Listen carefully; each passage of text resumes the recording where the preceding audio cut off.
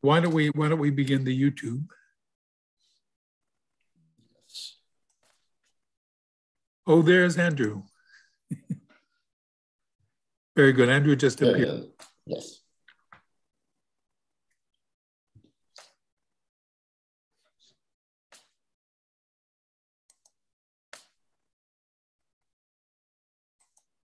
Hi, Andrew. Hello, Andrew. Now we're complete. Okay, um, we should we should begin. Um, welcome all to this session on uh, Leibniz and Newton um, of the Princeton Bucharest uh, seminar in early modern philosophy. And the speakers, of course, today are going to be Vincenzo De Risi and Andrew Janiak. Um, shall we combine the discussion period for the both of them, Andrew and um, Vincenzo? Or do you want to do a separate um, um, question period after Vincenzo's and then after yours? What do you yes, think? I, I think it may work better. I think that Andrew will comment on, on, on my paper. And after Andrew's comments, I think we may open up the discussion to everybody. Great. Then that's the way we'll do it. Okay, Vincenzo, um, why don't you begin? Do you need, are, are you going to share your screen? Yes, yes, yes, I'm doing that. Uh, uh, so, but but first, thank you, Diane. Thank you, Dana. Thank you, Claudia, for, for, organizing this, and and most of all, thanks to Andrew for having accepted to to uh, I mean to discuss with us uh, uh, uh, this paper. I'm I, I'm I'm very happy to have you all here. So my my. my idea today was to share with you some kind of, let's say, a sort of discovery that I think I made in, in Leibniz studies for Leibniz theory of, of, of space. Uh, it all began when I, when I was working on Leibniz, uh, uh, on Leibniz geometrical papers. And in order to solve some dating problems, I just listed all the occurrences of Leibniz works, published works, in, in, in which he mentioned space some somehow or or place situation position i mean spatial terms I made this list in, in chronological order, and, when I looked at it, I, I, I saw a, a, kind of picture that I was not expecting there, and that I think is not known to most of Leibniz uh, uh, studies as well. So I, I, I, I will talk to you about this uh, unexpected uh, thing that I that I found. Uh, uh, so it will be a kind of talk on, on, on, on the chronology and development of Leibniz theory of space.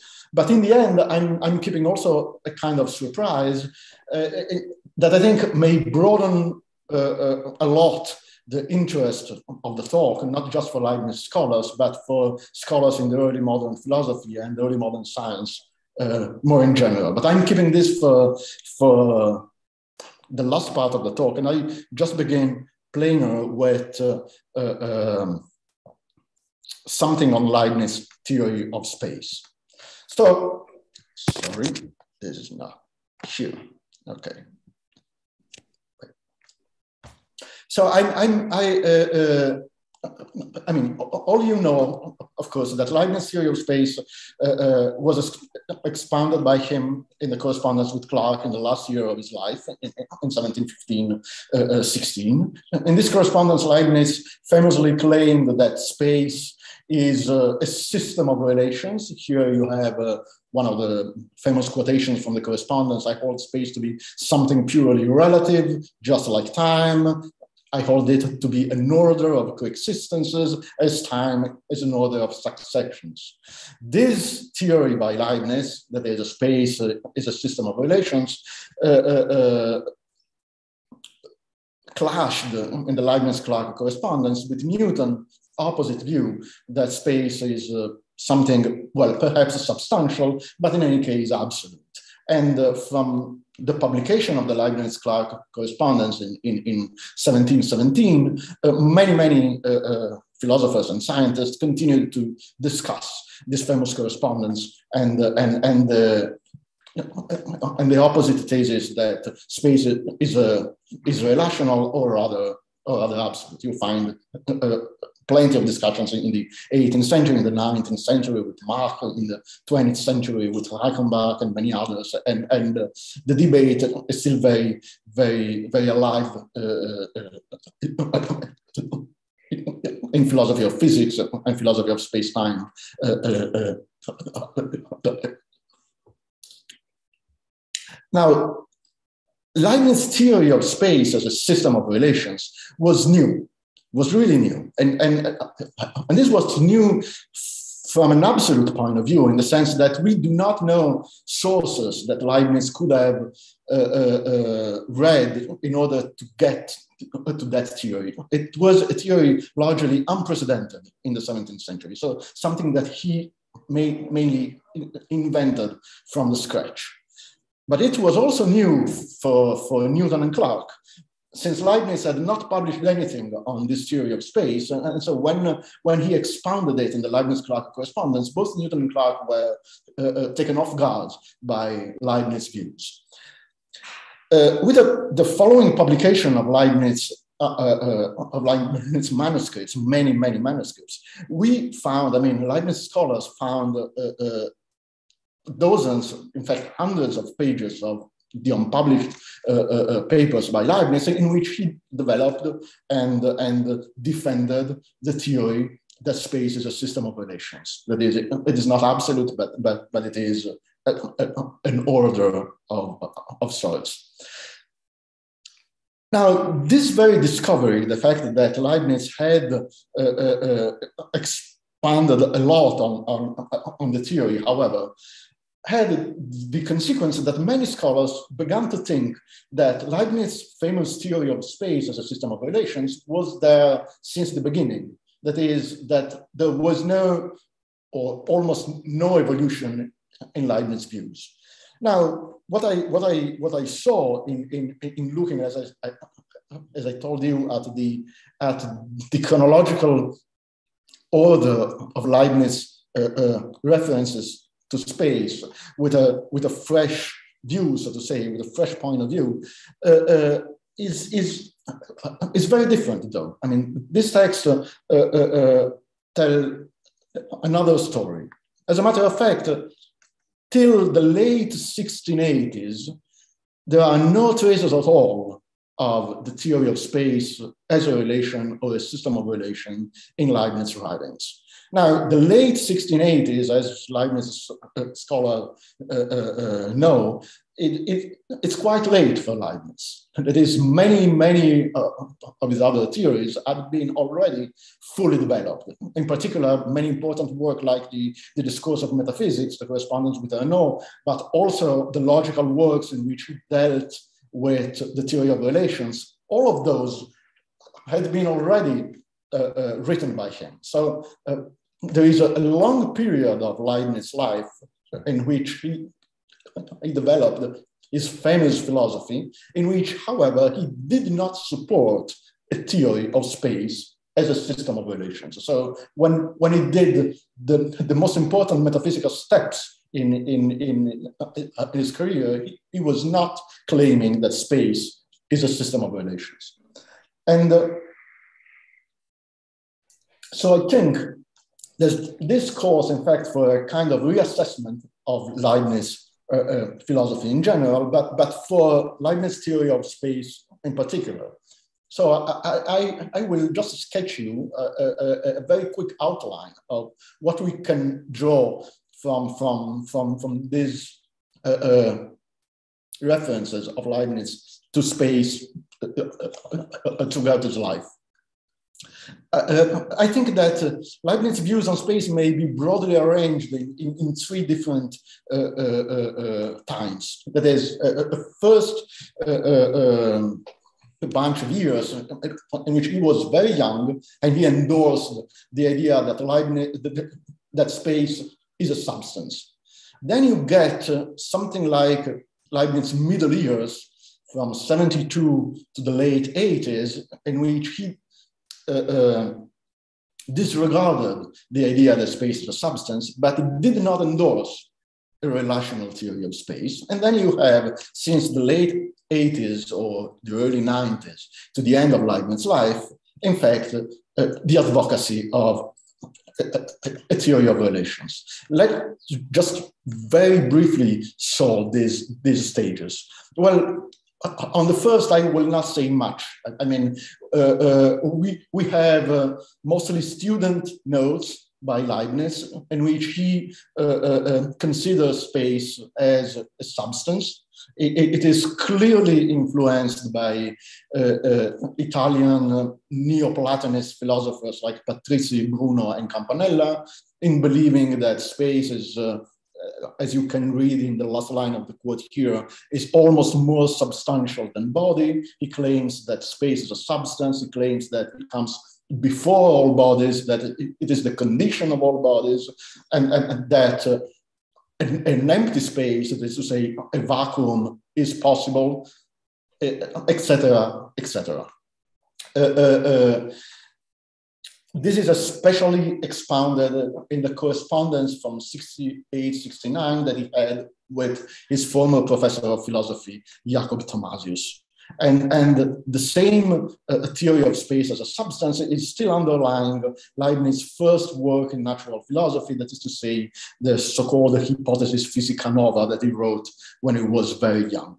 However, in uh, 1672, when Leibniz was only 26 year old. She arrived in Paris. In Paris, he, he came in contact with a completely different environment uh, of, of, of philosophers and scientists, with Huygens, with other people working in the Cartesian tradition, and he quickly relinquished this idea that space is a substance. And, and uh, he settled on the idea that space does not exist as an independent being, but rather the only thing that are in the world are the bodies themselves. So you do not need a container for the bodies.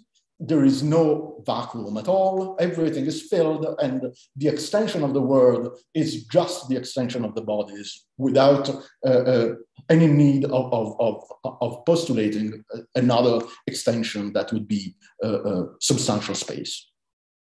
Now, the fact that uh, uh, uh, in, in, in 1672, Leibniz began to write that space is not real, and he says this many, many times, uh, uh, uh, brought people to believe that at that point, Leibniz had already advocated a relational theory of space. Because, of course, when you read Leibniz's later statements, to the effect that space is not real, he adds space is not real because it is a system of relations. It is not a substance, but it is rather uh, uh, uh an order of situation, an order of coexistent things, and, and, and, and so on.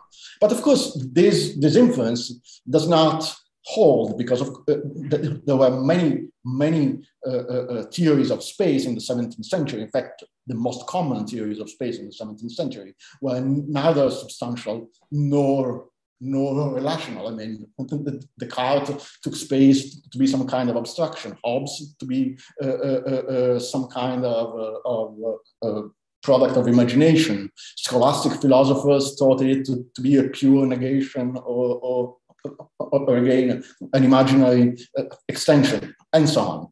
Uh, uh, and so did Leibniz. That is, when in, in 72 he abandoned the idea that space is a substance, he did not replace this theory with his later, much later theory and new theory that space is a system of relations at all.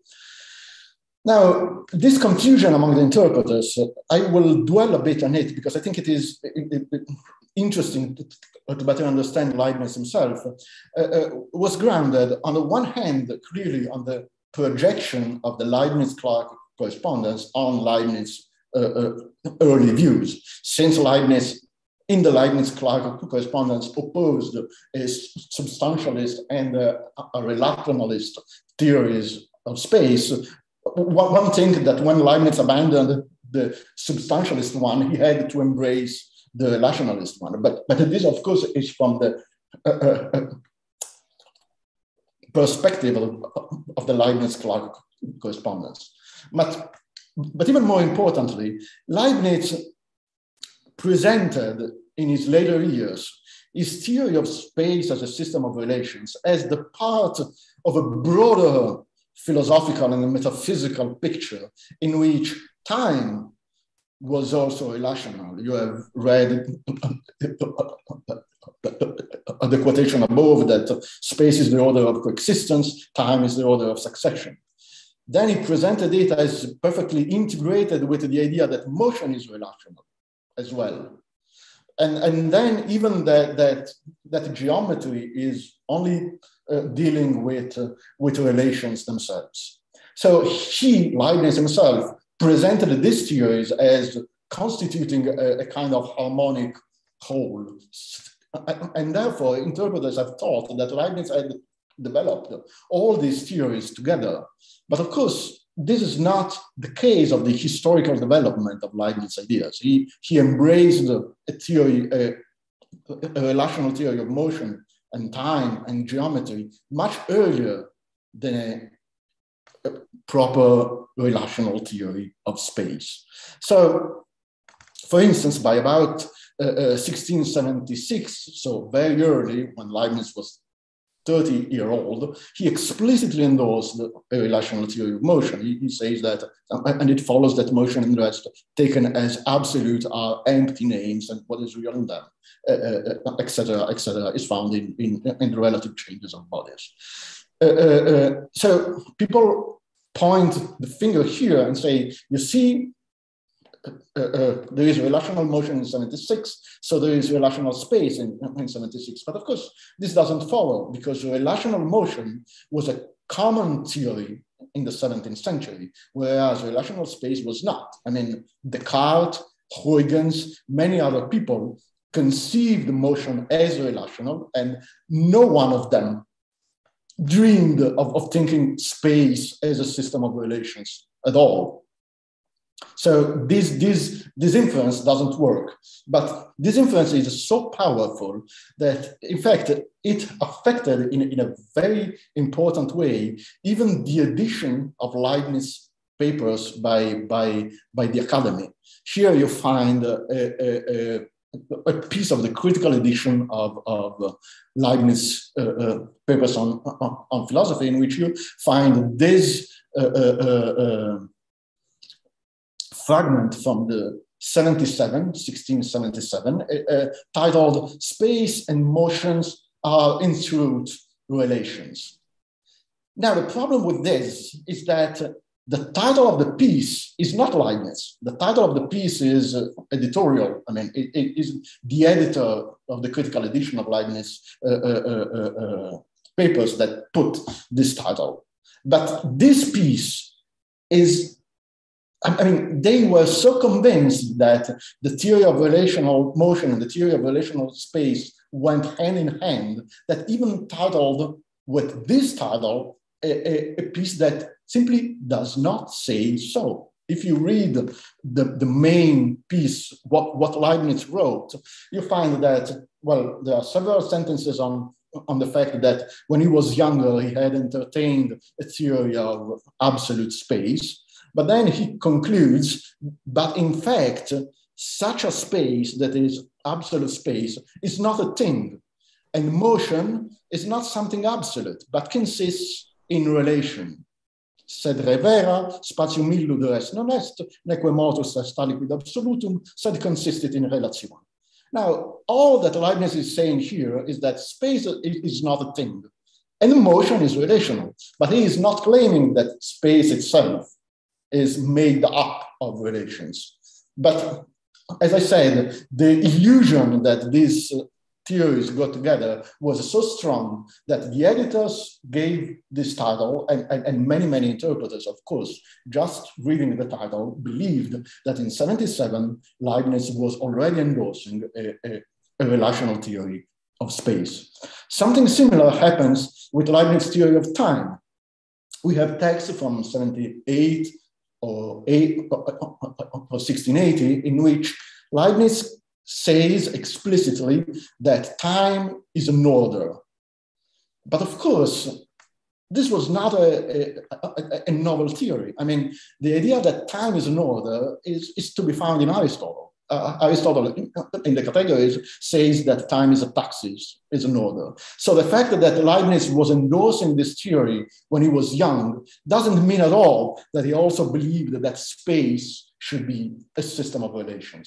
In fact, uh, there is even something, something more. I, I, I I mentioned I mentioned before here uh, uh, uh, that passage of the Leibniz-Clarke correspondence in which he defined uh, space and time as the, the order of co coexistence and the order of succession. Now, in, in this, now this kind of formulation is very common in Leibniz later uh, uh, text. In this text, Leibniz is not saying that both space and time are relational.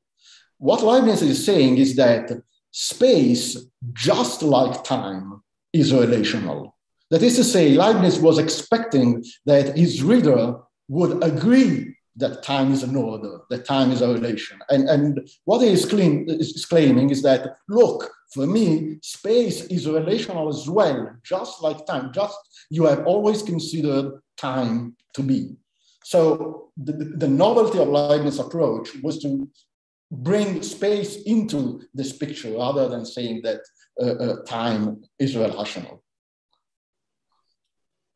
So for now, Leibniz was endorsing very standard theories about motion and about time. I will skip the part on geometry and, and will just sketch something of what we can we can think of Leibniz space in the, in the Middle Years. That is to say, after 1672, when he abandoned the idea of space as a substance, but before he arrived to the idea that space is a system of relations. Now, the picture that Leibniz had at that time is, I think, rather standard, not entirely standard, but rather standard. And, uh, and it is that space is uh, something mind dependent, which is produced by some kind of an act of abstraction. You have the world, which is made of corporeal substance, let's say a, a, a world of bodies, without uh, uh, any vacuum. And, and this world of bodies is the only extension that you have, the only substantial extension that you have. There is no container. But you may abstract from every feature of these bodies. You may abstract from their qualities, from the forces, from the entelechies and substantial forms. You may abstract even from the uh, uh, uh, impenetrability of, of, of, these bodies. And what is left is pure extension. This pure extension, Leibniz calls it ex explicitly an extensum purum, is space. So space is, is just the extension of the material world, of the bodily word, considered somehow in abstraction from every other uh, uh, uh, uh feature. Uh, sometimes Leibniz says that this kind of space is an aggregate.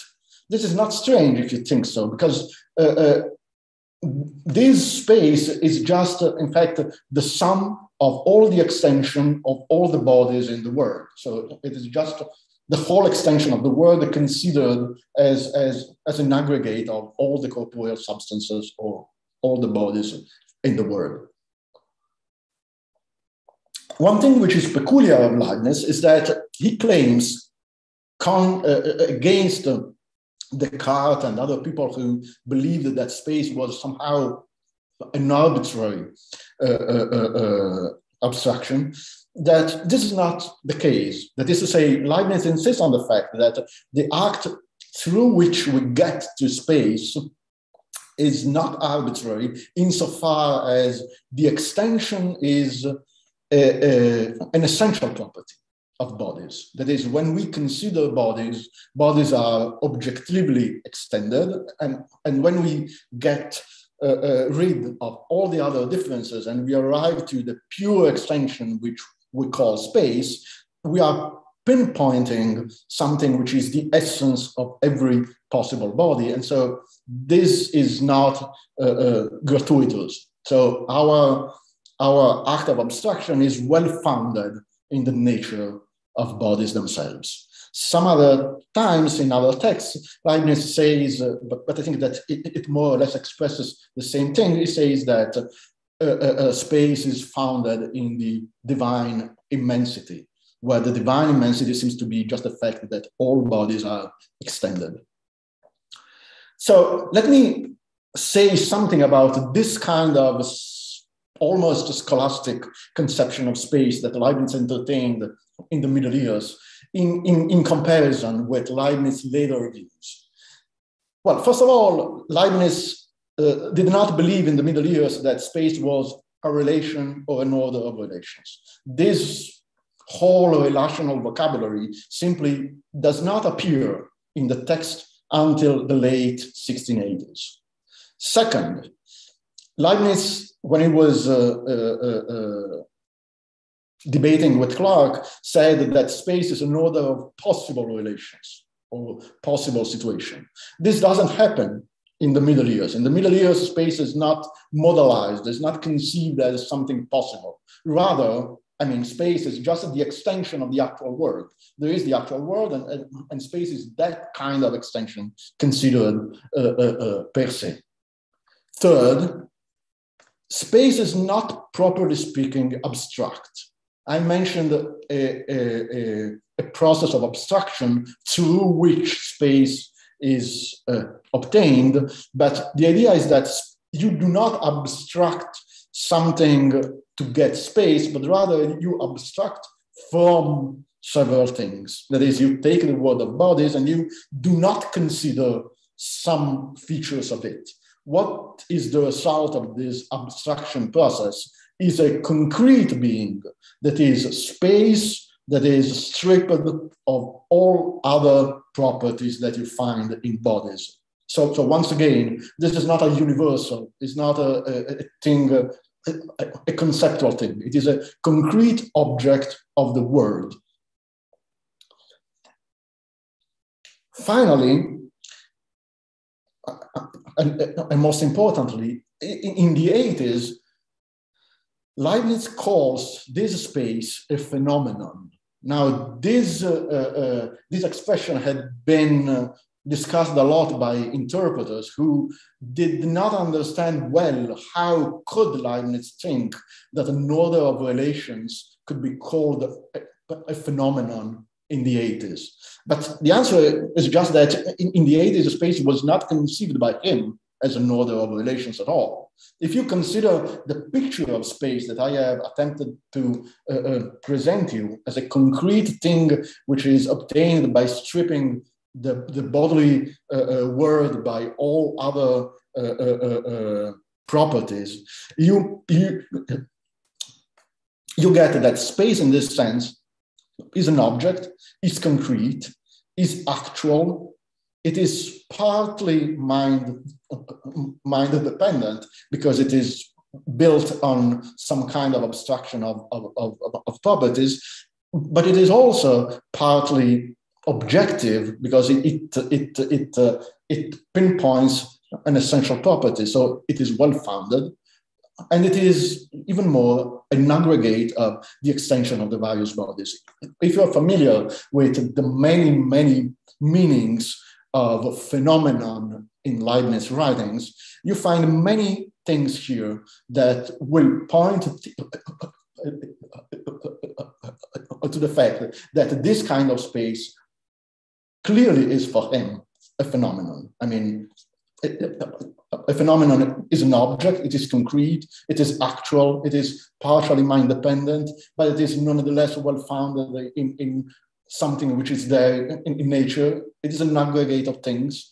All of these are cl- uh, uh, classical characterization of Leibniz of what a phenomenon is. So this, more or less, was Leibniz's theory of space in, in the Middle Years. And as you can say, see, it is very, very different from the late theory discussed with Clarke. I mean, I, I, I, I repeat, it's not a relation. It's not an order of possible relation. It is not abstract. It is not ideal, an ideal thing, but rather it is a phenomenon. It is a completely different thing uh, uh, compared with space in the Leibniz-Clarke correspondence.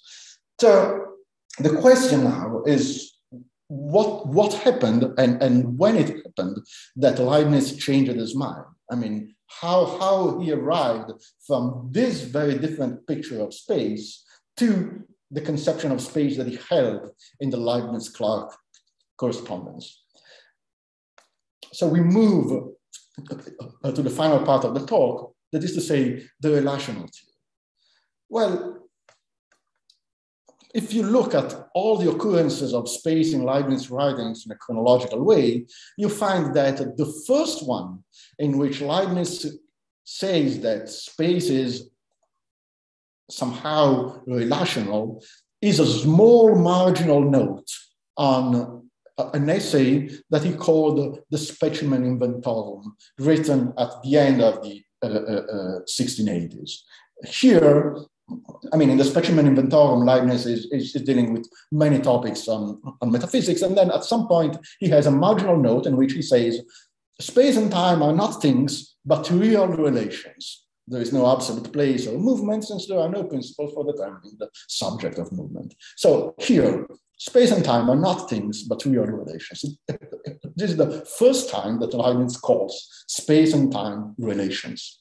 Of course, this is not a very good characterization. Uh, uh, uh Leibniz uh, later theory is that space and time are systems of relations, not relations in, in such a general way. So it is a, a bit an awkward, uh, an awkward formulation perhaps. But in the following months, we have some other papers in which he adjusts the this definition, and most of all, we have independent papers dealing with space as a relation. That is not a marginal note, but sketches and, and texts on, on, on this point.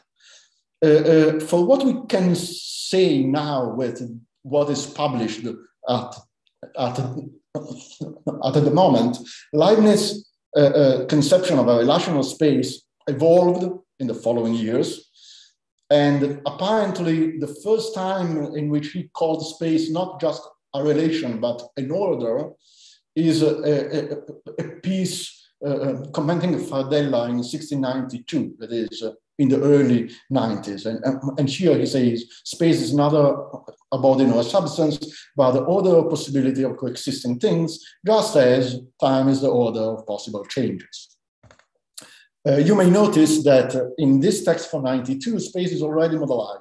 That is, uh, uh, Leibniz is already talking about an order of possibilities rather than an order of, of, of uh, real things. And finally, in all these texts, space is called abstract rather than concrete. And, and in fact, the earliest occurrence of the word uh, ideal that I was able to find was in a letter to Foucher in 1695. It may be earlier. I don't know because we do not have the complete work of Leibniz from, from, from those years. Uh, uh, uh, and that space is ideal will become uh, uh, uh, commonplace in Leibniz texts of, of, of, the later years. And in particular, he will oppose the being ideal of space to the being a, a, phenomenon. That is to say, by saying that space is abstract and ideal, Leibniz is also saying that space is not a phenomenon as he conceived it uh, uh, earlier. Uh, so we, we can we can try to uh, uh, uh, focus a bit more on on on on what was happening in the specimen inventorum um, in, in, in the late 80s. And, and attempt to give a, a date for Leibniz's important change of views about space. And uh, well, the Specimen Inventorum, when uh, uh, space is said to be relational for the first time has long been dated to around 1686. This is a very complicated text because it, I mean, its editorial story is very complicated because it was published uh, in, in pieces, then then uh, uh, I mean, then grouped again, uh, etc. But but Harry Parkinson published the first version, complete version of the Specimen Inventorum, and he dated it to 86. Some a couple of decades later than Parkinson uh, uh, articles, the Academy edition established that the Specimen Inventorum was in fact written on a paper uh, uh, made in Vienna and since Leibniz had been in Vienna in fall and winter from 1688, it is impossible that the Specimen Inventorum is from 86. And in fact, it should be placed to uh, uh, uh, 88. Okay, now I come to what I, I, I think is, is the most surprising thing of all this story, uh, and the most important.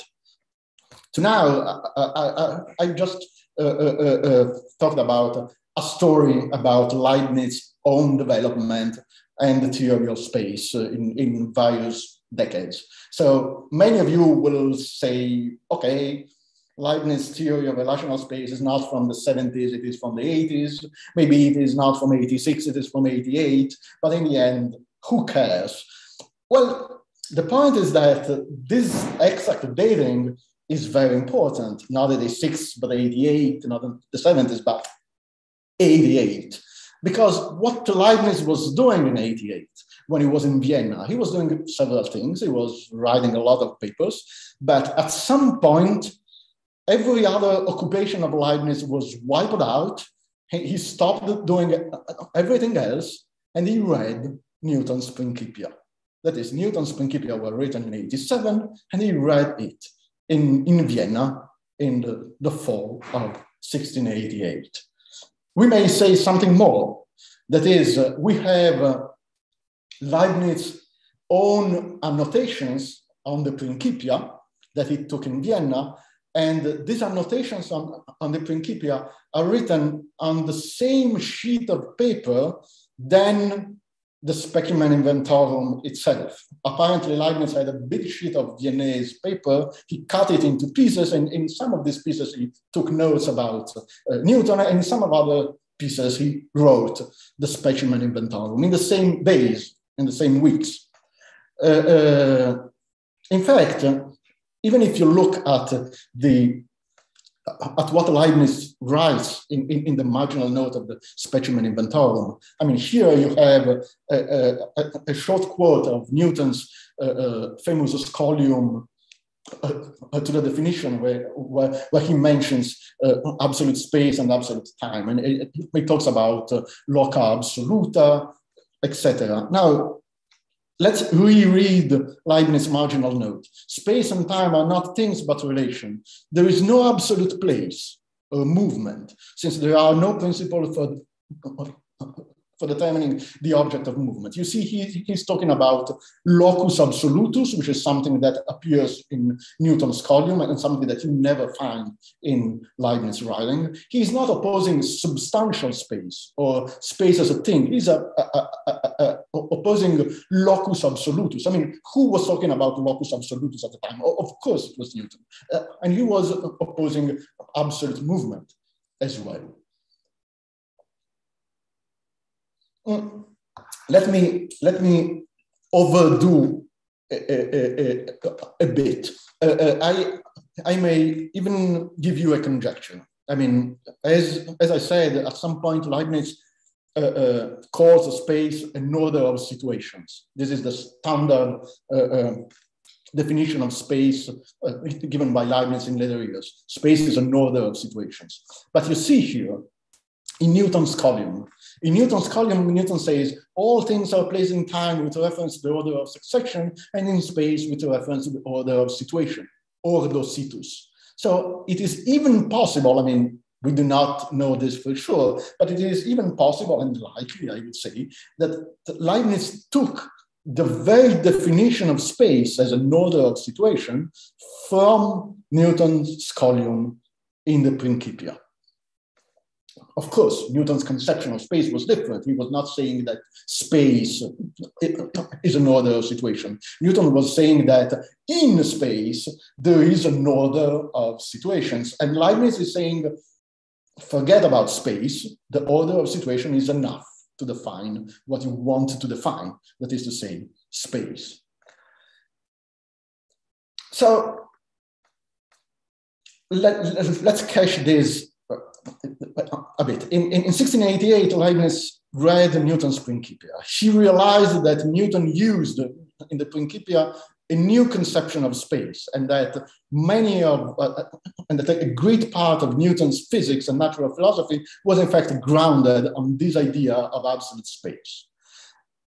He wanted to overthrow it. He wanted to overthrow it, and so in reading it and in preparing many of his anti-Newtonian essays in, in the early 90s, he understood that he had to develop an alternative conception of space. So at this point, he put, I mean, he began to think and put together his theory of relational motion, his theory of relational time, everything. And he arrived to the new idea, to the novel idea that space is not absolute, but rather is an order of relations, is a system of relations.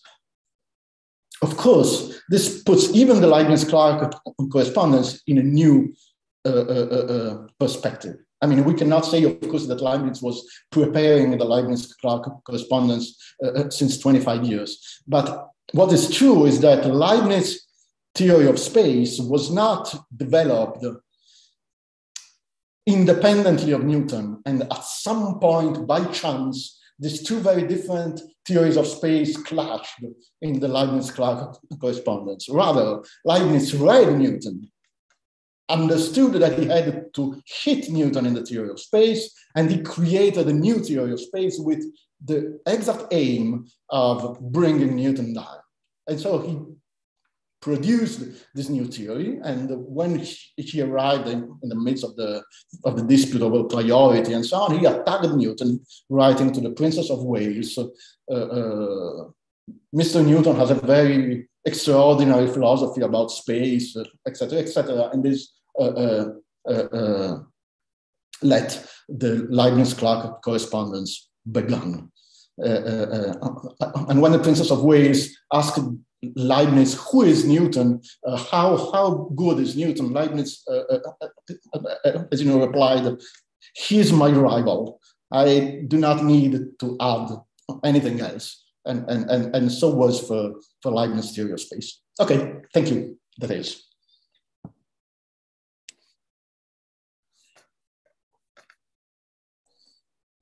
Thank you very much, Vincenzo. That was very exciting. Um, Andrew, um, Andrew Janiak is going to um, deliver a, a, commentary on this, and then we'll have discussion. Uh, Andrew? Thank you so much. Uh, can you hear me okay? Do you need to share your screen? No, I'm just going to um, chat. It, it, it's a short commentary, so I didn't think we needed any slides. Um, thank you for inviting me. I'm delighted to present some thoughts about Vincenzo's paper, which is incredibly interesting. Uh, I thank Claudia and everyone in Bucharest, and we're thinking of you now uh, because we are very aware you're near a war zone, and we hope you're all safe. Um, on on the topic of the paper, uh, I'm in one of those positions you get in sometimes in philosophy where you actually agree with the paper so strongly. You can't do that thing you were trained to do you know think of an objection that kind of thing.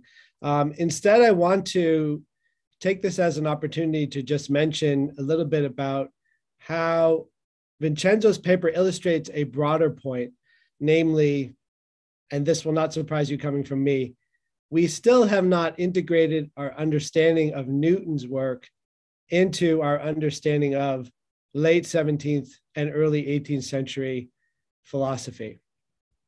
I think this illustrates it perfectly, and I'm going to give some other examples that I take to illustrate that same point. Um, and I think, uh, and I hope people will take this as a broader point, not just about Leibniz's theory of space, which Vincenzo has so expertly outlined, but also about other issues, not only in Leibniz scholarship, but even in um, other areas as well.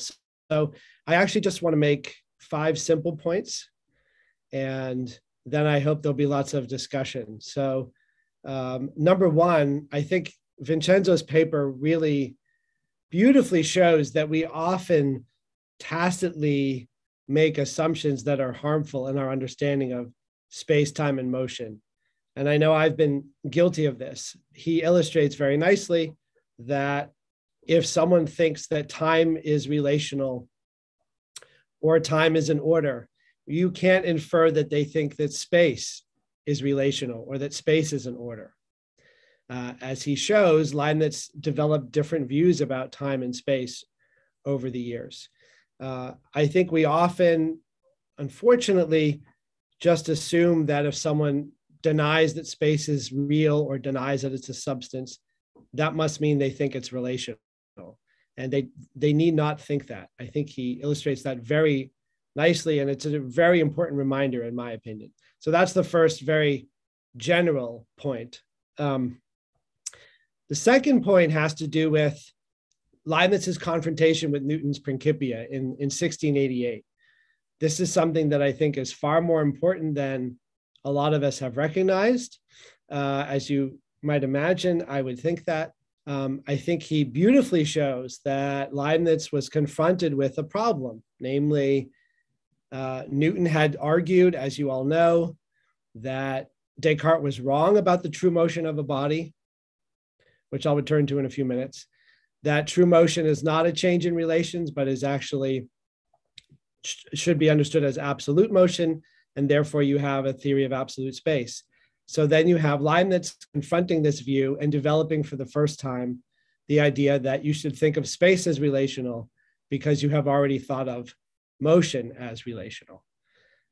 We should not assume that you automatically believe that space is relational just because you think motion is relational. That was a, a conceptual move that Leibniz made, as Vincenzo outlines. In relation to that, I would also note that it's very important to watch when Leibniz is using the terminology of an uh, opponent or just another philosopher. So I think Vincenzo very nicely shows how it looks like Leibniz is using the idea of an order of situations from Newton's Scholium. and one of my own personal pet peeves is that people do not closely track his uh, use of the terminology of the Cartesians right around this same time. So I think it's very important to do that. And I'm going to try to illustrate why. So, my opinion is if you take Vincenzo's view and you think about other things that are happening right at this time, 1686 to 1688, you of course have the beginning of what we later call the vis viva controversy. And I would uh, urge everyone to watch Leibniz's terminology as carefully as Vincenzo has. And this brings in Newton once again. As you probably all know, lots of scholars say the vis viva dispute concerns the question of whether mv or mv squared is conserved. And of course, this is anachronistic terminology. In fact, in March 1686, when Leibniz publishes the Brevis Demonstratio, he very explicitly is using the terminology of the Cartesians. And he is talking about um, and corporum. He's talking about bulk or volume and speed. He is not talking about what Newton calls mass and velocity. And that's appropriate when you're arguing against the Cartesians. I'll just note Vincenzo is suggesting after Leibniz reads the Principia for the very first time in 1688, of course, he's now in a position to think about the mass of a body, which Newton defines in the definitions um, as the quantitas materiae. And he is explaining, as I'm sure you all know, that Descartes' view of the quantitas materiae is incorrect And instead, we should think of uh, mass, not moles or bulk. And of course, Newton is interested in velocity and not speed, although that can be put aside for the moment. So I would urge people to distinguish between Leibniz's use of Cartesian terminology in 1686 when he had not encountered the Principia, and then the Specimen Dynamicum in 1695 after he had confronted the Principia. In the first text, Leibniz is clearly using Descartes' view that we're talking about the product of, in fact, I looked this up to be sure I had it right, uh, the product of um, moles and um, uh, velocitatem, but he does not distinguish speed or velocity. In 1695, Leibniz would be in a position to talk about the mass of a body following Newton if he wished to do so. And so I would suggest Leibniz scholars look very carefully at these two different texts and think of the vis viva controversy in the context of Leibniz's confrontation with Newton's Principia in 1688. We should not assume that the texts are making the very same point about vis viva. Now, uh, one note about that, um, and this is a third point. It is not only uh, scholars who are sometimes, in my opinion, unclear about this point, but even sometimes historical actors themselves. So I just wanted to point out that Clarke himself, in my own opinion, muddied the waters about vis viva. I don't know if people are aware of this, but the leibniz-clarke correspondence, um, as Vincenzo says, of course, has received so much attention that we sometimes retroactively reinterpret texts from the late 17th century using the conceptual framework of the Leibniz Clarke correspondence. Uh, but in particular, on this point that I'm making now, unfortunately, I think Clarke himself muddied the waters. So the, the correspondence is known mostly, as you all know, because of debates about the divine will, space and time, gravity, action at a distance, miracles, and so on. However, at the very end, Clarke is uh, trying to ensnare Leibniz into a debate about vis viva. This is something I didn't really realize until I had been teaching it for many years. It's a very odd move for Clarke to make, but basically, here's how it goes, just to remind you. In his last letter, Leibniz says, um, I'll just quote from the 99th section of the last letter I do not undertake here to establish my dynamica or my doctrine of forces. This would not be a proper place for it. And then he says, um, I agree that the quantity of motion does not remain the same in a, in a, in a collision where this, the force is conserved. And in this, I approve what Sir Isaac Newton says in his Optics, page 341, which the author here, namely Clarke, quotes. So Leibniz is trying to find common ground. He does not want to uh, engage in a debate on vis viva here. And I think that's mostly because that's not a debate with the Newtonians. That was a debate with the Cartesians. But Clarke refuses this, this uh, olive branch, so to speak. And even when Clarke discusses the paper from the Acta Eruditorum in 1686, before Leibniz had read Newton's Principia, before anyone had read Newton's Principia, um, because it was March 1686.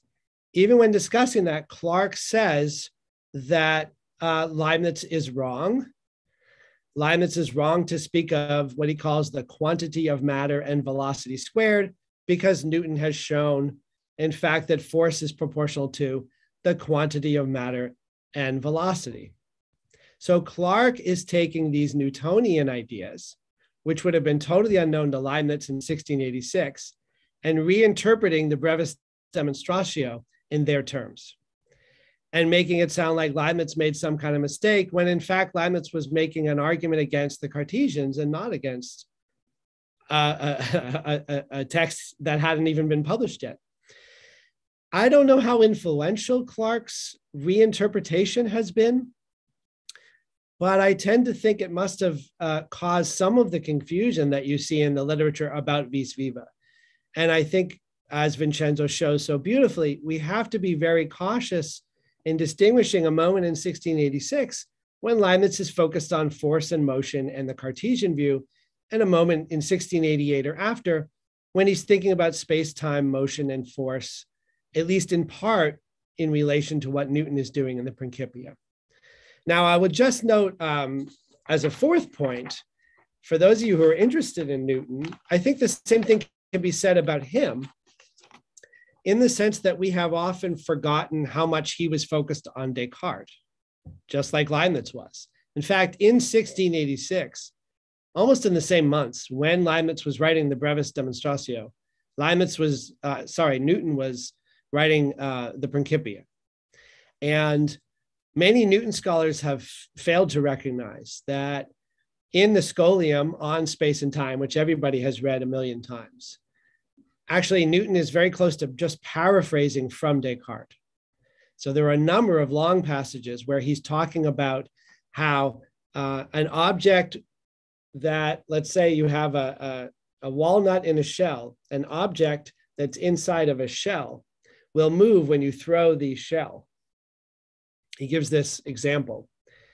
And it's very strange unless you realize this is exactly out of the Cartesian theory that the true motion of an object is a function of its changing vicinity, as Descartes puts it. And Newton says um, it's wrong to think the true motion of an object is a function of its uh, changing relation to the surrounding bodies. So he's talking about the Cartesian view and coming close to paraphrasing the Cartesian view. And the reason he's doing that, of course, is that Newton, and he makes this clear in the Scholium, Newton is trying to say we should not take the Cartesian view that the Earth is truly at rest because it doesn't change its vicinity within the vortex. We should reject that idea about motion. But if you forget that Descartes is the uh, opponent there, not Leibniz, not a relational theory of space, then some of Newton's remarks are very odd. So we need to integrate Newton into our understanding of this period in philosophy in both directions. We need to think of Newton as responding to Descartes and even paraphrasing from Descartes' Principia from 1644, just as we need to integrate Newton into our understanding of Leibniz uh, as Vincenzo has so beautifully shown, so that we can understand the development of Leibniz's theory of space. I think in both cases, um, we, uh, despite everything that has been said in, in the last 10 or 20 years, um, we still forget that Newton is a key player in these um, disputes. So the last point is just um, a plea for all of us to think very carefully about when uh, a figure reads Newton's Principia and is in a position to react to it. And in, in a way, a more uh, fervent plea that we not read earlier debates through the lens provided by the Leibniz Clarke correspondence. I think, as important as that is, we have to remember, as Vincenzo says, uh, that the Leibniz Clarke correspondence occurs at a very particular moment, of course, toward the end of Leibniz's life. You can't reread Newton's Principia in the light of the correspondence, and you shouldn't read or reread Leibniz's manuscripts or letters from the 1680s in the light of that correspondence. They stand on their own. And what you find is this fascinating confrontation between 1686 and 1688 amongst Descartes and Newton, Leibniz and Descartes for the brevis demonstratio, and then Leibniz and Newton. And I think that uh, period, a very, very rich period in philosophy and science, needs to be studied using Vincenzo's paper as a interpretive guide. Thank you very much. Um, thank you very, very much, Andrew. Um, um, Vincenzo, do you, would you like to respond in any way to that? No, thank you. I I, I think it, it, it was perfect and, and very clear. I, I, I, think we may may move to questions and, and, and, and a more general discussion if you think. Great. Um, if anybody has any questions, please use the raised hand function under reactions and um, um, I'll call, call on you in the order in which you um, um, um respond. but we actually have a question already in the chat. Uh, Dennis Stagchi, would you like to uh, phrase your uh, um, remarks? Sure. Uh, I'll put some quotations I need not read them all, I think. Uh, but I want to ask um, about the second uh, period uh, of Leibniz uh, from 1672 on at least through the 1670s. Um, now, I found uh, one quotation from one of the writings from that period, which not only does not expand the relational view of space as a relation between possibilities, but is inconsistent with it, as I as I understand it. And uh, the quotation is: uh, "There is something in space which remains through the changes, and it is eternal. It is nothing other than the immensity of God, namely an attribute that is one and indivisible." and at the same time immense. And now the crucial part, space is only, only a consequence of this as a property is of an essence. Now, uh, this is inconsistent with the relational view as elaborated later on, because here space follows from God's immensity and not uh, from uh, the relations between finite things.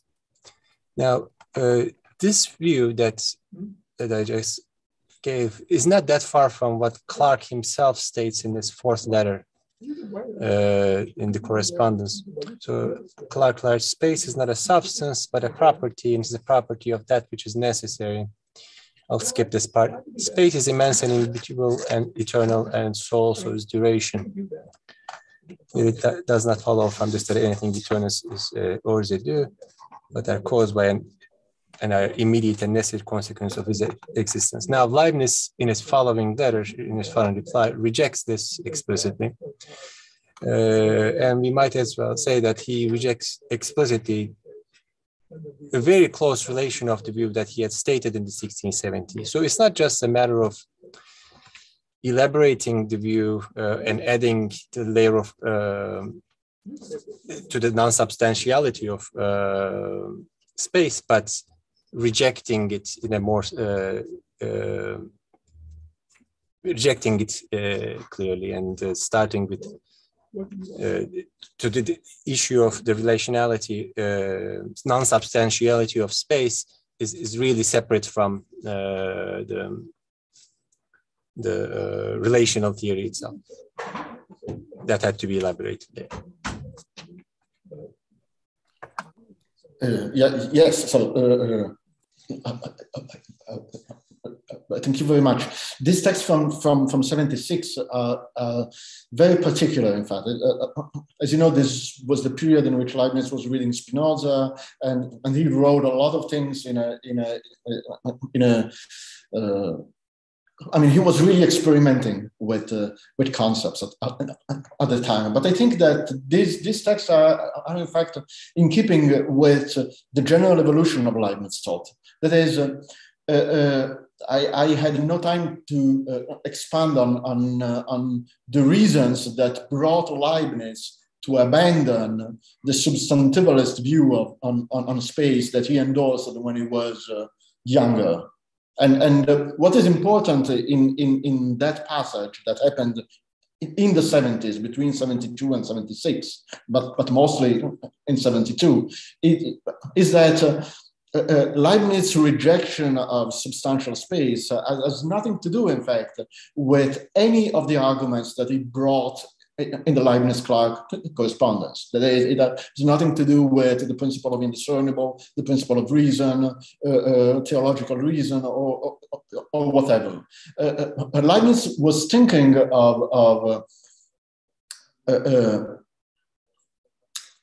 I mean, uh, uh, as he said uh, in a in a in a paper from '78, I think, at, at, some point in Leibniz's natural philosophy, space became useless. That is, Leibniz didn't find any any use for it, and there is even a, a, paper in which he says that we should reject substantial space since nothing would change if we would accept it. That is, in the physical world, would change nothing.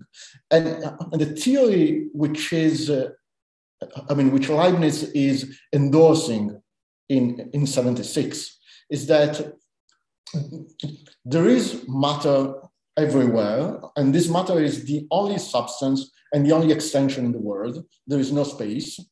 And the impenetrability of matter is due to the movement of matter itself. That is, since matter uh, has, has vortices, these vortices uh, prevent matter to, to penetrate uh, uh, uh, other matter and bodies with other bodies. The general outcome is that Leibniz picture in 76 of the natural world is that there is matter everywhere, there is no space, and this matter is everywhere moving. However, he calls, I mean, he, he gives the, the example of a net. He says, imagine that the res extensa is a kind of net and that the moving matter are just waves on it or folds on the net.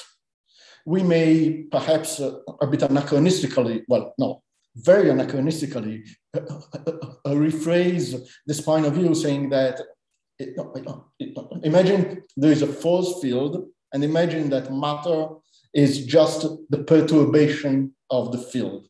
And at that point, Leibniz says we can call the net itself, that is the force field, as the immensum or expansum or something that comes from God, some, something which is a consequence of God immensity. And, and, and so you have the very substance of things which is God uh, uh, Himself, well, the immensity of God Himself. But then you have matter only where this thing is moving and, and, and doing things and acting, because of course, activity uh, is very important for Leibniz. And, and so this is the picture that you get in, in, in these passages from, from 76. It is important, however, that uh, in, in 72 he abandoned the idea of a substantial space. And it is also relevant that before 72, when he endorsed this, a, a, substantial space, he never ever uh, spoke about uh, God's immensity. That is, uh, uh, uh, Leibniz's views on, on substantial space when he was young had nothing to do with theology or, or, or with God.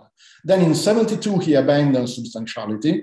And in 76, for the first time, he says, well, space is not a substance. Nonetheless, there is something which is the immensity of God.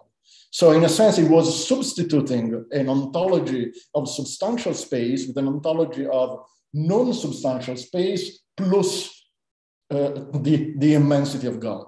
And this is different from Newton and Clarke, of course, because Newton and Clarke insist that the immensity of, of God grounds somehow a kind of substantialistic view on space. It's sort of, I mean. Great. Andrew, do you want to add anything?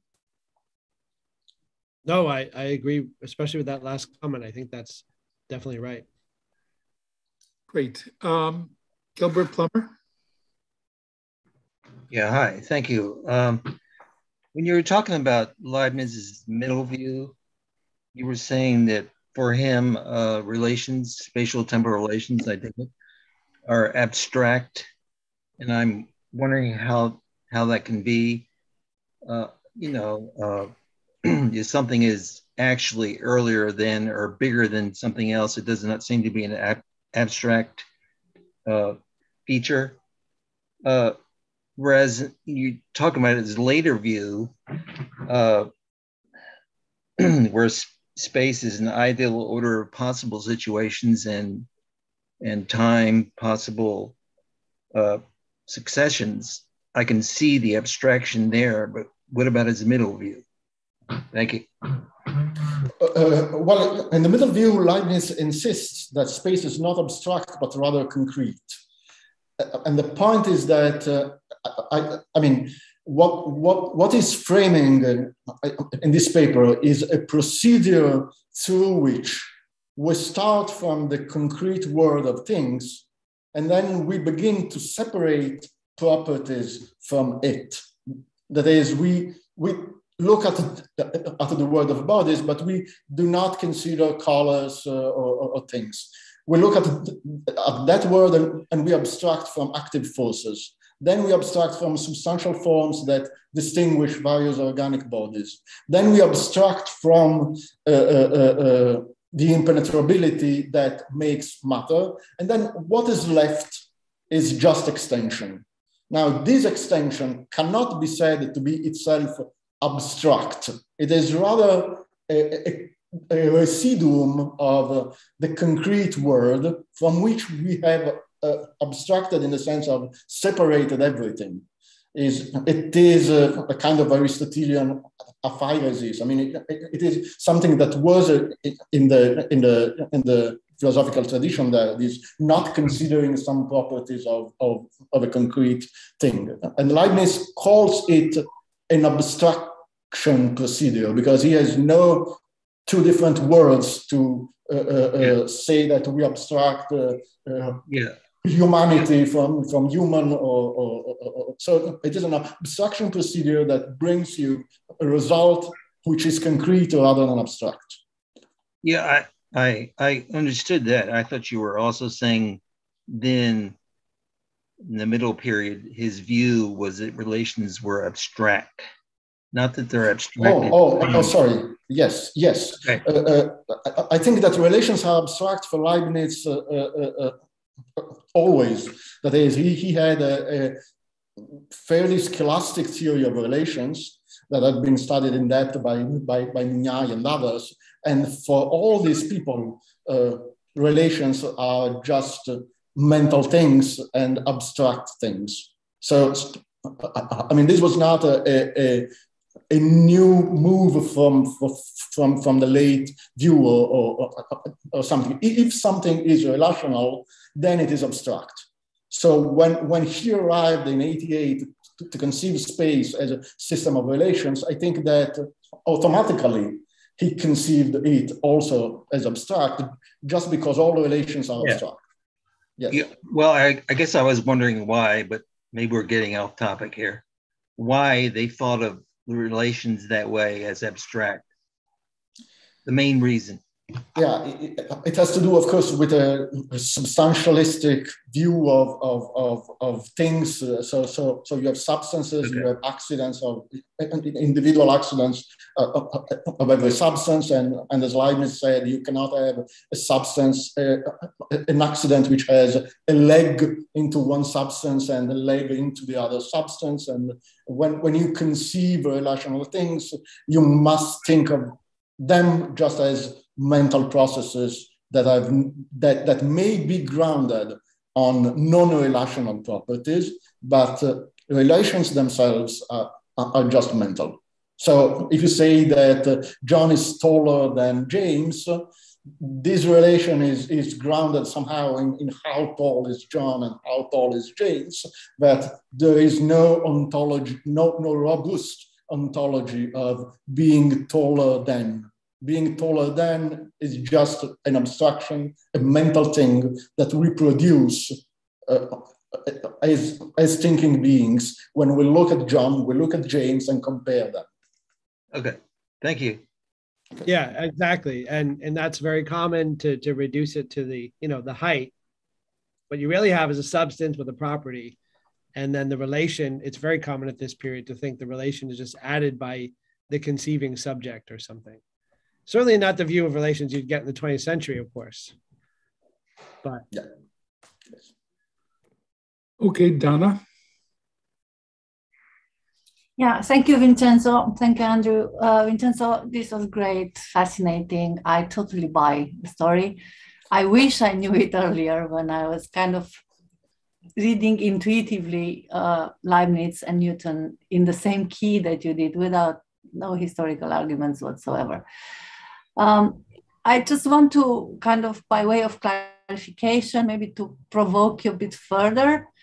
Um, so, granting that Leibniz theory of space originates in his reading of the Principia and his intention, granting that his intention is to develop an alternative explanation to that of Newton, and you know, finding finding at last a way to do that and so on.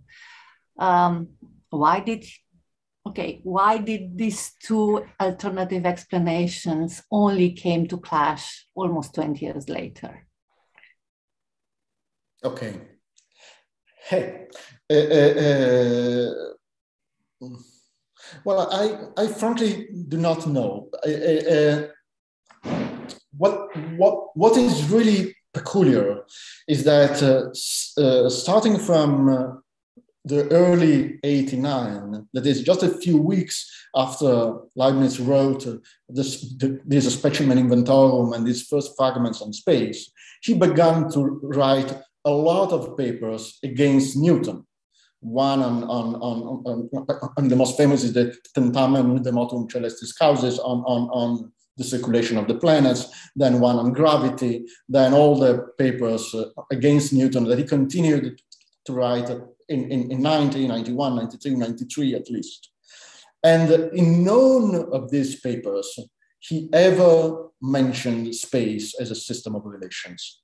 And uh, especially in those that he published. So that Newton and Clarke, as I said, when they read in, in 1716 that Leibniz believed space as a system of relations, they, they were, were caught off guard and, and, and, and, and, and wondered what, what, what is this guy saying? What is he thinking? Now, the reasons why Leibniz didn't uh, uh, uh, immediately use the theory of space to oppose Newton, uh, well, I, I'm not so sure. I, I, I, think we have to wait a bit more of, of texts that could be published. I mean, at the moment, we are in a very unfortunate situation that the critical edition of Leibniz papers ends at 1690. That is just a few months, one year after the discovery of relational space. So we do not know the entire story of 91, 92 while he was writing these anti-Newtonian papers in general, I would say that Leibniz was convinced that in order to criticize uh, uh, uh, absolute motion, it was enough to say that there was no absolute space in the sense that space is not a substance, space is, is, is imaginary, space is a mental construction, or something like that. And this is, in fact, something that he says in the anti Newtonian papers from the 90s.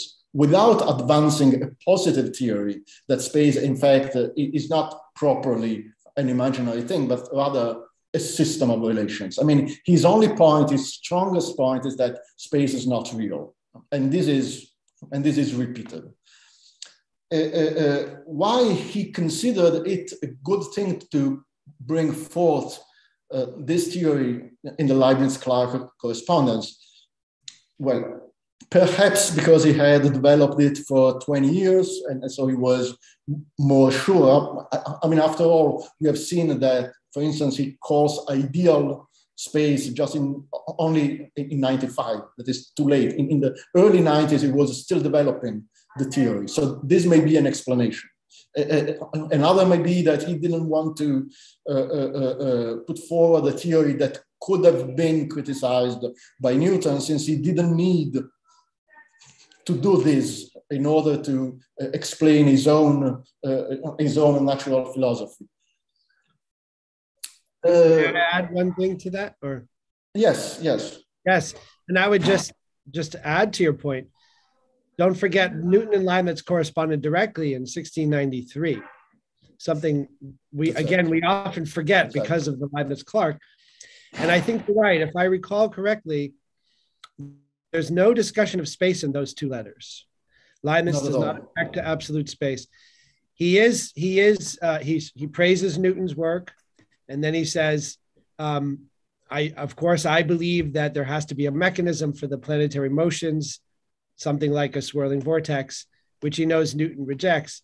But there's, other than that discussion of gravity, I don't think there's any discussion of space. So he, he could have presented his alternative relational theory in those letters and, and decided not to. So that fits with what you're hypothesizing here. I think. But in general, it is true that Leibniz only wanted to give the minimum necessary yes, to right. justify his hypothesis. He, he's Right. always doing Right. so in, in metaphysics, in mathematics, with his theory of infinitesimal and so on. There is a bare minimum that that allows you to, to accept his theory, and, and there is no need to say more. Exactly. And, and- and I think th- th- th- this is the yeah. Can I, can I put in a finger on this discussion? Though I know that there, there are other people um, waiting just to continue it is that you were saying. One of the things that struck me that was very interesting was the um, um, passage in the in Inventorum that you point to as the very first one where he articulates this view is a marginal note. And one of the problems with marginal notes in Leibniz is he kept his papers for a long, long time. And he would sometimes come back to them. And um, is it clear that um, that marginal note dates from the same period or the same time as the, um, the rest of the essay? Here's one of the things that I was wondering in continuing what it is that uh, you and Andrew were talking about, about the lack of discussion in other papers we've got of Leibniz at that moment about the notion of space. If you look at the uh, manuscript that Bertoloni Meli um, edited, what it's now, what, 20, 25 years ago, uh, marvelous job of taking this very puzzling manuscript and showing that what it really is is developing ideas from a reading of the Principia. But what is it about? It is about the vortex theory. It is the genesis of the um, uh, the Tentamen, um, which is about the vortex theory. And as I remember, there is no discussion in that manuscript of space in the other annotated, you know, in the marginal annotations that we have of the Principia that were published some years before, as I remember, um, there is no discussion of space. Could that marginal note that you're using to date um, the um, first appearance of this theory of spaces relations actually be from maybe just a little bit later?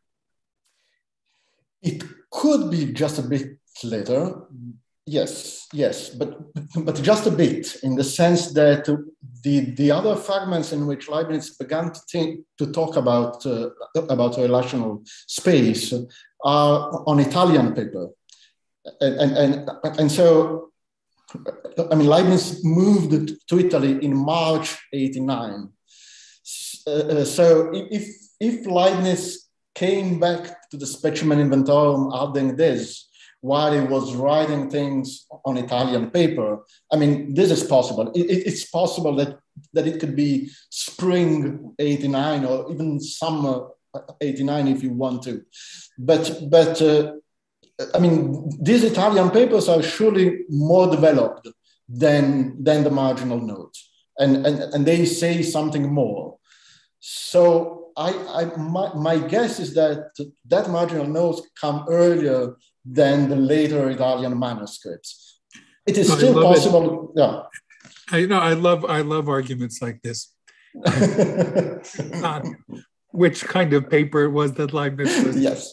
was was writing about. Another thing is, I mean, he could have started developing it, you know, in Italy um, at that moment, gone back to the um, um, um, Speculum Inventorum and made a little note to himself about. This well, is absolutely possible. Yes. We, so yes. We're, we're talking, though, six months difference. It doesn't really obviously affect the, um, you know, the the the uh, uh, the main thesis that you're giving. I, I, I may add that that the fact that in the Speculum Inventorum uh, he, he mentions not absolute space but locus absolutus. Now, locus absolutus is an expression that you do not find in Leibniz. And the only other occurrence that I found of locus absolutus is in his uh, marginal notes on the Principia uh, uh, edited by Bertoloni Meli, where, where he says nothing, he, just uh, he, just registered that Newton talked about uh, uh, locus absolutus, but, but I, I see a, a, connection there between these two texts. There may, there may well be. Thank you very much. Uh, Bristol?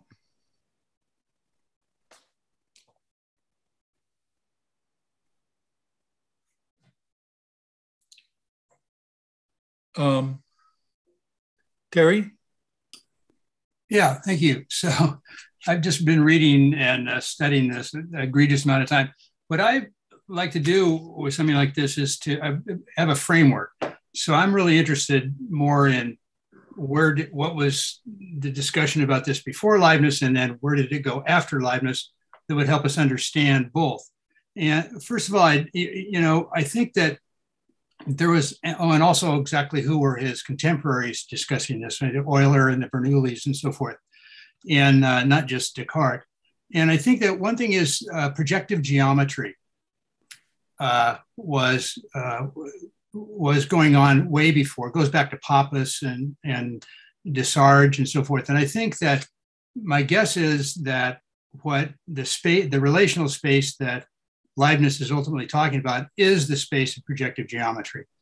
And uh, uh, I'll try and say why that. So, but I think his his interaction with with uh, uh, Huygens, Euler, Bernoullis, all those guys in their critique of Descartes, they were coming up with things like the cycloid and the uh, path of swiftest descent. And these were not uh, things that fit into Euclidean geometry. So and basically, projective geometry is supposedly a more general geometry. It includes Euclid as hyperbolic and, and uh, so forth. And Riemann picks up on this later, so forth. But the basic idea is that projective geometry is a more general concept, and uh, Euclidean geometry, which he, I think, Leibniz associates with uh, Newton, is, is a very limited, it would be a kind of a special case. Um, I also think in talking about the Leibniz uh, uh, Newton uh, correspondence that it, it's very important to realize that what, what Leibniz really doesn't like is the concept of gravity. And, and you know, you got to get rid of gravity. Gravity is, you know, he's like, this is this, you know, occult thing and it's, you know, it's causality at a distance and, you know, like it doesn't make any sense and it's incoherent. And how can you possibly uh, uh, bring this into your world? But so the Newtonian world, though, it has that. And, but Newton has these two things. He has his linear three laws, and then he has his gravitational theory. And they don't really fit together. And that's even modern. Anyway, I think so.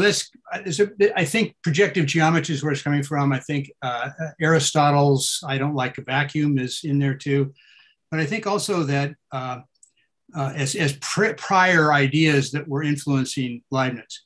Uh, but where does it go? So I wanted to like, what have, where did Leibniz idea go? Well, so it comes up again in Maupertuis. And Maupertuis, well, I, this is really about, about Andrew's comment about the vis viva, which I really like. Thank you for bringing it up. Because I think the vis viva thing, I look at it this way. So what, you know, it was like, is it MV or is it MV squared? And, and, and uh, Maupertuis comes up with this sort of enigmatic answer. He says, no, it's both how can it be both? And he has this idea of the orbit. You know, there's the uh, the MV linear going on and the MV square going down. This is a balance. You know, it's a it's a harmony, which I think Kepler picks up on a little bit too. It's a harmony of MV and MV squared. And uh, and there's all sorts of problems with Maupertuis' version of it, but nonetheless. So, but what comes, but anyway, what he comes up with is the idea of action. That's what I wanted to get to. An idea of an action. He immediately refers it back to uh, Leibniz, and when he's pressed on the uh, on the uh, what he means by that. He goes back to to, to Leibniz and uh, but lines and curve, lines and curves are something that that Leibniz talks about in his calculus, and that comes up again very explicitly in Carnot. The lines and curves are complementary, if you like. They don't fit together, so they that forces you up into a higher higher order geometry. So you can't just have uh, Newton's geometry is very linear. Everything's linear, lin, lin, lin, and even his mv squared is the, the extra v is is a linear v. It's an impulse. Whereas what what uh, Leibniz, I think, and then later in Carnot very nicely in his in his 1803 geometry of position, and, and fundamental principles of uh, equilibrium of motion, he's very clear. First of all, he thinks he's, ex- he says, I'm trying to complete Leibniz's program, his, his program of analysis situ, situ. And, and he says that, you know, and, and he picks up on the idea of action, and action is not motion in the Newtonian sense. This is crucial. I, I think there's a tendency to think of mv squared in the Newtonian version of it and mv squared in the Leibnizian version of it. mv squared in, in Leibniz's sense and in Carnot's sense is the living force and is conserved. And that's not the case with Newton. In Newton, you have these hard bodies colliding. And anyway, I think just I'm, I'm, rambling on here, but I, I, really like Andrew bringing up the vis viva thing. I think that's crucial. And I think that it has to do with it, what, what Newton meant by motion and what Leibniz means by motion are very different things. And uh, anyway, I'll shut up. Thank you. Andrew, you want to go first or, or I'll go first? Go ahead. I, I, I wasn't sure if there was a question or just well, I want to. So I want to hear from from Vincenzo about whether about prior ideas about about the uh, projective geometry and the debates that were going on about that, and the the uh, you know discussion with Huygens and so forth about non-Euclidean geometry. I think those are crucial. What about uh, uh, uh, well the so-called projective geometry? Of course, we do not have to project too much of, of, of 19th century geometry and, and projective geometry onto uh, uh, Leibniz or Pascal or Desargues, etc. But there is no doubt that Leibniz began his project on the analysis situs uh, uh, after reading or in, in, in uh, in, in, connection with his reading of Pascal's papers on conic sections that were uh, uh, uh, offered by him when he was in Paris. And, and, and in, in 76, 75, 76, he, he read them, he, he began to take notes, and in 77, he began to properly develop his analysis situs. And there is no doubt that this is connected with a general, let's say, projective approach to geometry that you find in, in, in those others. However, uh, I would not label Leibniz analysis situs as projective geometry properly. He had uh, the clear awareness that uh, there were quantitative, that is metrical properties for us and, and properties that were not metrical. However, the properly projective geometry is not really there. He, he deals with similarity, which is a kind of projection, but it is not as general as projection. And, and he has the idea of, of developing something which is not metrical, but not yet properly uh, uh, uh, projective. Concerning the relation of this with the theory of space, I think it is important, but also uh, uh, uh, I mean, it may be misleading. I mean, there have been uh, uh, uh others, uh, uh, in, interpreters, who read into Leibniz project on the analysis situs from 1677 the clear mark that he had a rational theory of space already in 1677. And, and we have seen that this is not absolutely the case. The point is that you may conceive a geometry of situations even if these you you think that these situations are situations in space that is that the condition of possibility of these relations of, of situations is the fact that there is a concrete extension there as the background in which this situation obtains. These situational relations are situations, are, are relations between points of an already given space. Now, when you have this picture, you do not need, of course, to define space as a system of situation.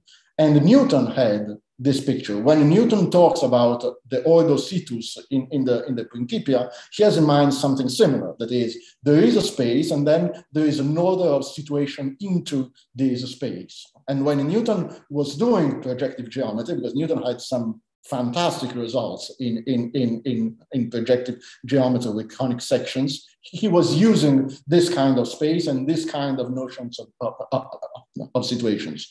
What is interesting is that by 1688, when Leibniz endorsed a fully fledged uh, uh, uh, theory of space as just a system of relations. He had already several hundred pages of geometrical studies on the analysis of situations. And it, I, I, think this brought him very much in, in, in, into be, be able to conceive space as just a system of relations. When, when, when he said in 1688, okay, there is a space, there is a system of relations, now just eliminate space and stay with the system of situations without any background for, for it. When he did this move, that was the move in 1688, he already knew that with this system of situations, he could do good geometry, a lot of geometry, a lot of mathematics, because he had experimented it for some uh, 11 or, or 12 years. And, and, and, he had several hundred pages of, on this kind of geometry. So I, I, I would say that this was a powerful impulse, in fact, in, in, in getting to the theory of, of, of, of relational space. But also I would like to stress that the two things are not implied and, and, and that uh, one needs a, a, a further move.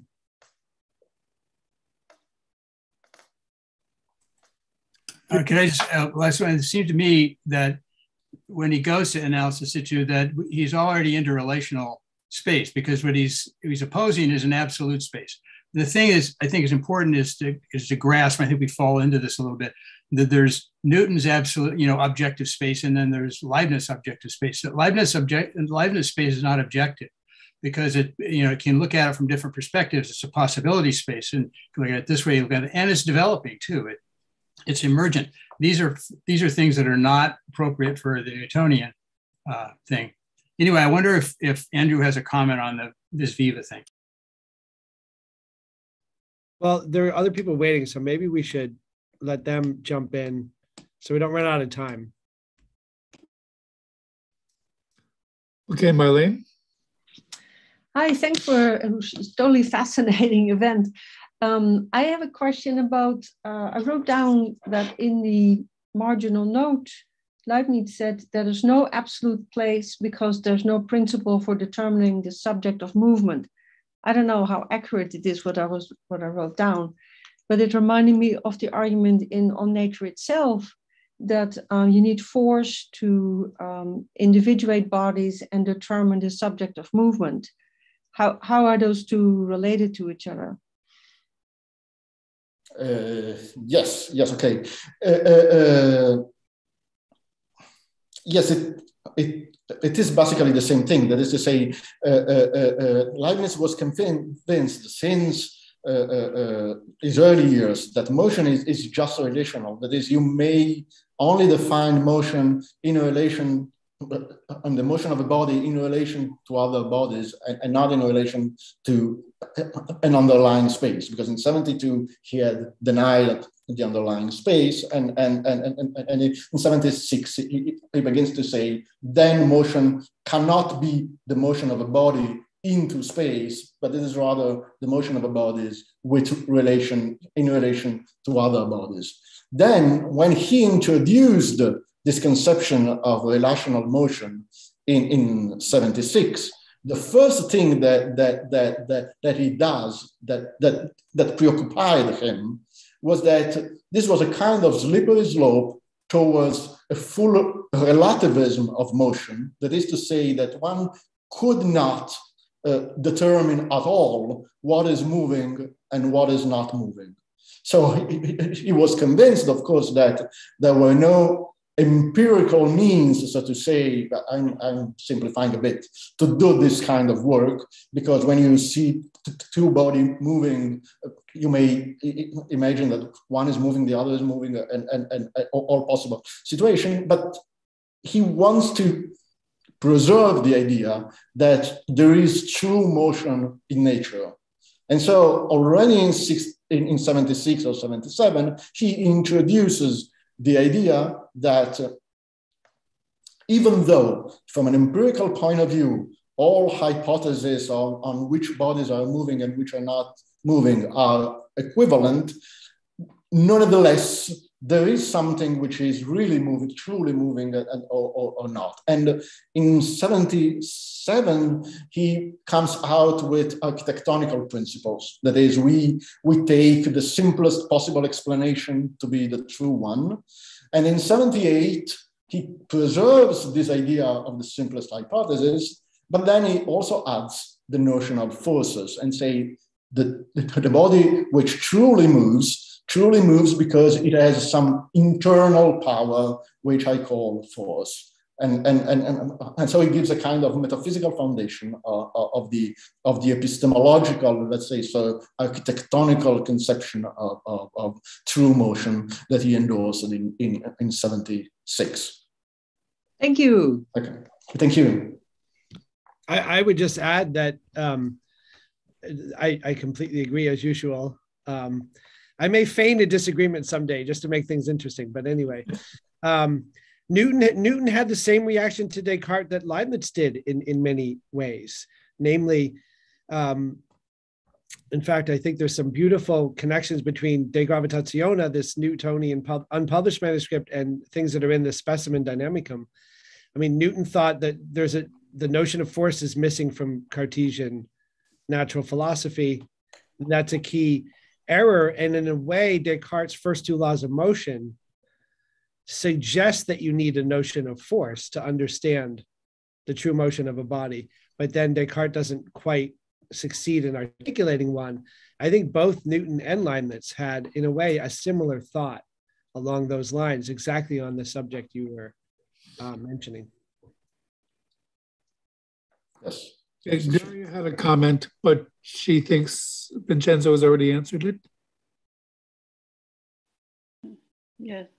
Yes, me. Yes, thank you. I, I, just was quoting from the from the correspondence, Leibniz Clarke correspondence, It's the fifth letter of Leibniz, speaking about this uh, uh, absolute true motion of a body. So it was for me always a question how it could be uh, put together this idea of absolute true motion because it needs some conception of space somehow. But I suppose yes, it was was uh, uh, Vincenzo was responding. Well, yes, yes, it's a kind of true motion in relation, still in relations with other bodies, and and and uh, I mean there are uh, interpreters of, of Newton like Robert Rynasiewicz who insist on the fact that both Leibniz and Newton started with the idea that there are true motions. And then what Newton is doing in the scholium is to uh, uh, make the inference since there are true motion, then there is absolute space. And this kind of inference from true motion to absolute space is what Leibniz, in the Leibniz Clarke itself, says. I do not see how this follow. Um, okay, uh, Victor uh, Blasio. right, yeah, yes. Uh, thank you, Vincenzo. That's very fascinating indeed. And uh, my question was uh, in part uh, already brought up uh, previous question, that this passage, no principles for determining the object of motion. And I think um, uh, indeed that seems to be just the old relativistic idea of more, that the one the part that Leibniz already shares with Descartes and Huygens and everybody else the same old thing you know you can't tell whether A or B is really moving so it is uh, it doesn't seem like it's enough to he brings that up as a justification for his new theory but it's an old argument so it can't be enough to to sustain the new thing uh, I guess maybe one could say that the old uh, that that argument the relativity argument in the old way had only be used in a kind of epistemological way you know you can't the only thing you can ever know about bodies, the only knowable thing is relational, but that is not. And now the new thing is that he wants to do ontological stuff and wants to say what space really is, and that's the part that has not been was not part of the the, convent, the old relativity uh, thing, I suppose. But and but and I also want to uh, should I should we think about this? Uh, uh, when he abandons then in this context of Newton, he abandons his middle theory and he develops a new one. Is it because the middle theory, when he said, you know, let's subtract color and extension uh, or uh, uh, uh, Uh, uh, uh, all the properties uh, that are not uh, with position, if we subtract all of that, space is what's left. And why could he not maintain that and still, you know, use that to attack Newton. You know, so uh, does he believe that if you combine this theory, that space is what's left when you subtract away all the incidental things? Uh, if you if you apply that in a Newtonian paradigm, you're going to end up with absolute space. You know, so it gives the wrong answer. You know, this theory of space. That's the reason why he has to abandon it. I wonder.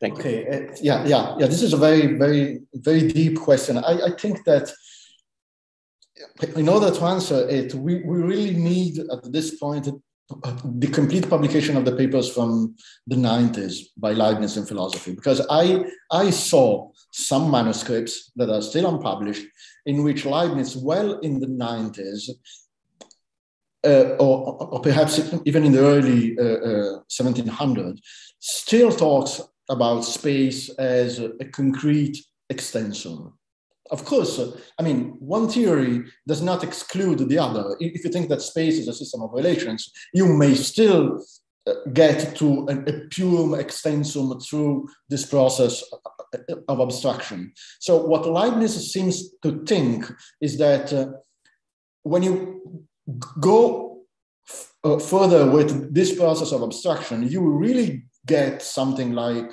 this pure extensum, but this is the wrong notion of space.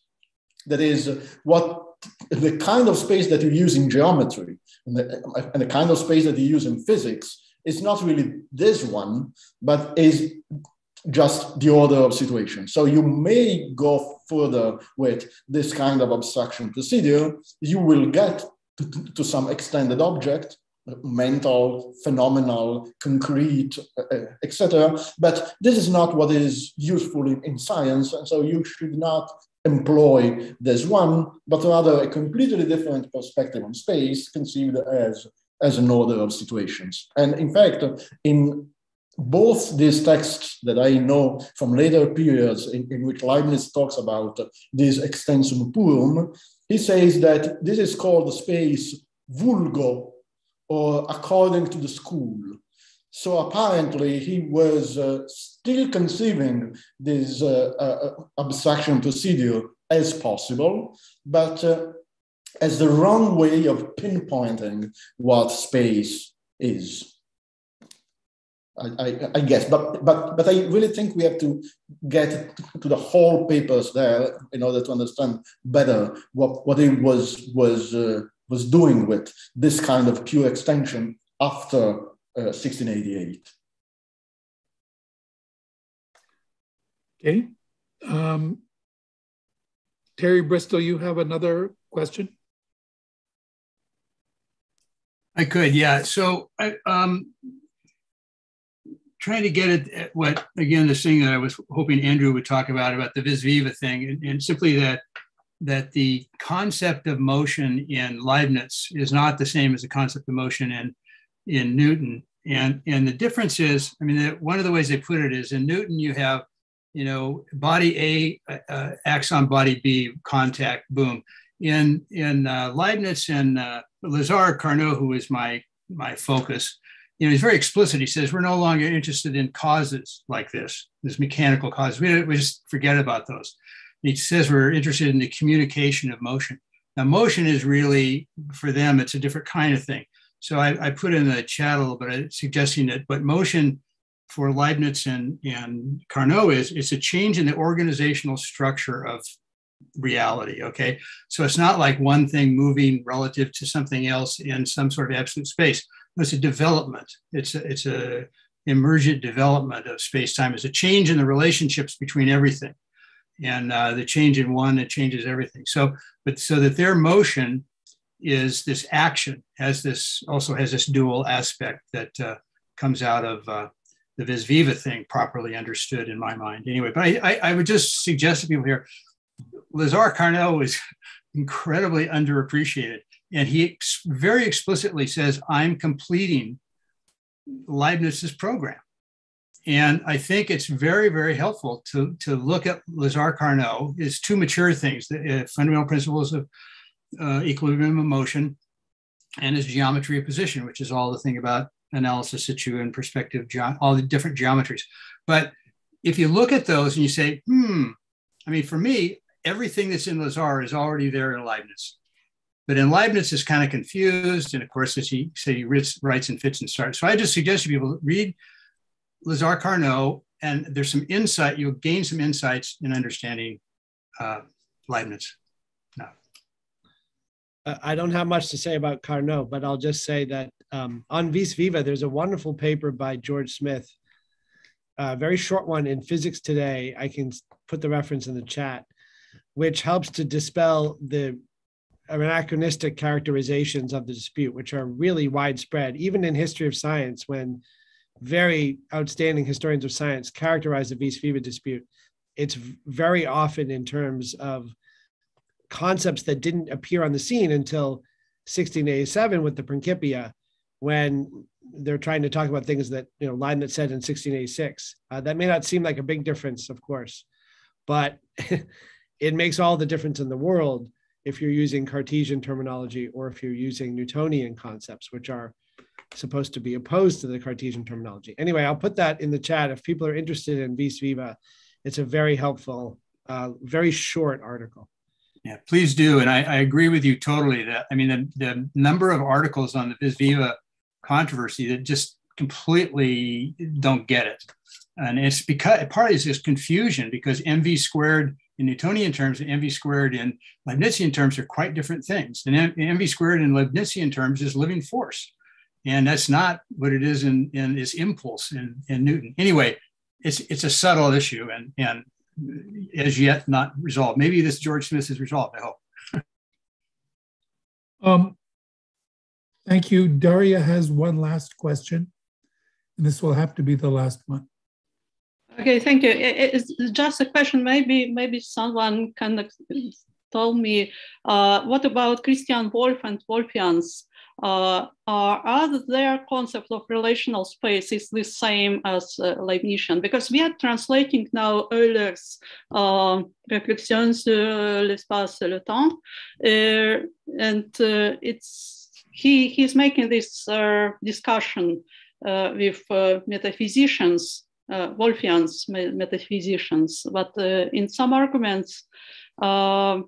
it, it seems that it's not really their order of situation they are talking about, but more about a simple relational concept. Like we should understand motion uh, in relation to the neighbor bodies, for example, or to other bodies. Maybe someone can tell me. I, I, would think I would say you're right. I've been reading a lot of that, and and what happened in the in the debates between uh, Leibniz and the Bernoullis and so forth, they were having their little discussion, and then they and they said, "Oh well, Leibniz or Huygens has already got this." Particularly this this idea of the path of swiftest descent, which does not fit into any of the other. It didn't fit in the Newtonian thing. Doesn't fit in the Cartesian thing. That's the real key. The, the guy, the idea of the cycloid, and and of course this the cycloid was crucial to Huygens. He he realized that as his pendulums were going down, they were actually forming a cycloidal uh, uh, pattern at the bottom. He tries to make the perfect uh, thing. Anyway, yeah, I, I, agree with. It. I think I think Huygens is, and of course Leibniz studied with Huygens. he was young, you know, and they have course. I was just looking at the Leibniz. Uh, Huygens correspondence, trying to figure out, you know, like what this, but I, I don't have an answer, but I absolutely agree that that's a very interesting line to look at. And with this, I think we probably have got to end. And thank you all, particularly uh, Vincenzo uh, and Andrew. Thank you, Andrew.